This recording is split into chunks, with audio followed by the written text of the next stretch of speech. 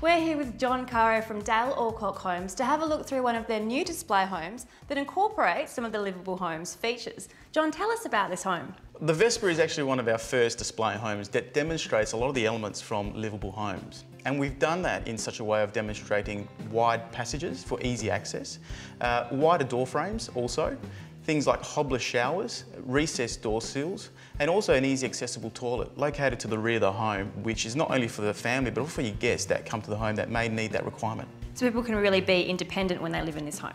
Correct, and the Vespa demonstrates a zone to the rear of the home called multi-generational living, where the rear of the home is really a self-contained area or zone for potentially the elderly coming back to live with their family or the kids staying at home longer. Um, so yeah, it's a really good concept. It sounds like a really innovative home. It is. For more information on this display home, go to dalealcock.com.au. Or for more information on livable homes, go to livablehomes.net.au or speak to your HIA builder.